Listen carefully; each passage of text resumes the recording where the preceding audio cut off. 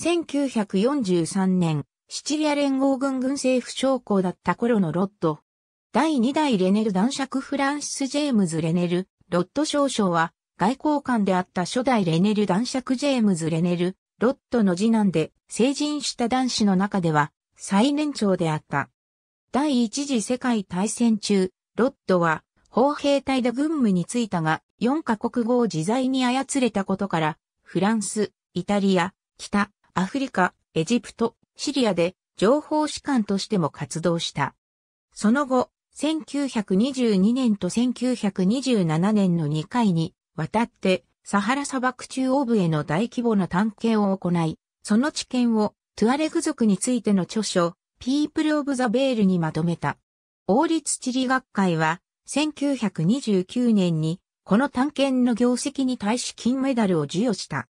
1939年、ロッドはイギリス陸軍に再招集され、シチリアの連合軍軍政府の将校として民政長官を務め、少将に昇進して、中東司令部、東アフリカ司令部、イタリア司令部で民政部門を担った。戦後、ロットは軍を離れ、民間の職に就いた。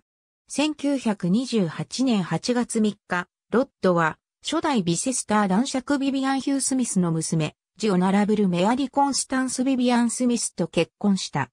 夫妻の間には4人の娘が生まれた。ロットは1945年から1948年まで王立地理学会会長を務め、1954年から1965年には英国海外航空の役員となった。1941年7月26日、父が死去したことにより、ロッドは第2代レネル男爵となったが、彼自身には男子がなかったため、1978年に当人が死去した後、男爵位は、甥のトレメイン・ロッドが相続した。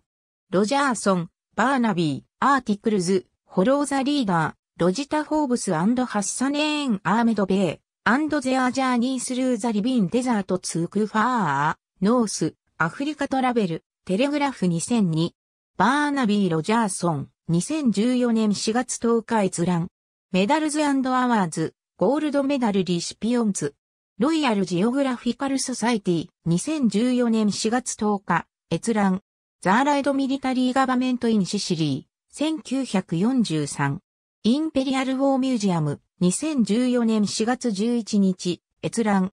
ロネル・オブロド、フランシス・ジェームズ・ロネル・ロード・バロン。ステーン・アメントロップ、2014年4月11日、閲覧。アビッチリー、ロード・レンネ、144p392 http コロンスラッシュスラッシュ www.jstor.org スラッシュディスカバースラッシュ10.2307スラッシュ634229とイコール1677万8440とイコール373万8328とイコール3億6375万6311アンドとイコール2アンドとイコール3アンドとイコール67アンドとイコール1673万7472アンドとイコール62アンドシュドイコール21兆1038億3914万7777 2014年4月11日閲覧。ありがとうございます。